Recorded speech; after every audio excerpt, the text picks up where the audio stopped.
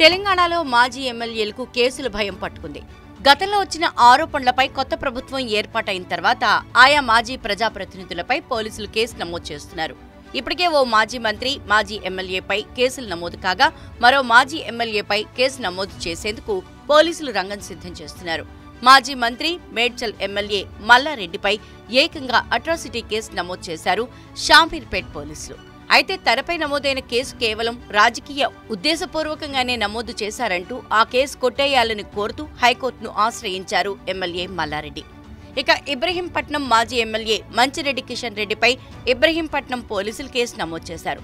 తనను కులం పేరుతో దూషిస్తున్నారంటూ మున్సిపల్ చైర్పర్సన్ శ్రవంతి ఇచ్చిన ఫిర్యాదు మేరకు ఇబ్రహీంపట్నం పోలీసులు మాజీ ఎమ్మెల్యే మంచిరెడ్డి కిషన్ రెడ్డితో పాటు నలుగురు మాజీ అధికారులపై కేసు నమోదు చేశారు.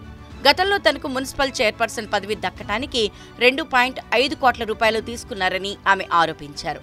ఆ తర్వాత తనను చైర్పర్సన్ పదవి నుంచి దింపి వైస్ చైర్మన్కు తన బాధ్యతల్ని అప్పజెప్పేందుకు అనేక రకాలుగా ప్రయత్నాలు చేశారని అంటున్నారు. ఇక తాజాగా ఆర్మూరు మాజీ ఎమ్మెల్యే జీవన్ రెడ్డిపై రాజేందర్ నగర్ పోలీసులకు ఫిర్యాదు అందింది ఒక భూ వివాదానికి సంబంధించి జీవన్ రెడ్డికి సామా దామోదర్ రెడ్డికి మధ్య కొన్ని నెలల పాటు వివాదం కొనసాగుతోంది. తనను హతమారుస్తానంటూ వచ్చే బెదిరింపు కాల్స్ వెనుక ఆర్మూర్ మాజీ ఎమ్మెల్యే జీవన్ రెడ్డి హస్తం ఉందంటూ పోలీసులకు ఫిర్యాదు చేశారు దామోదర్ రెడ్డి.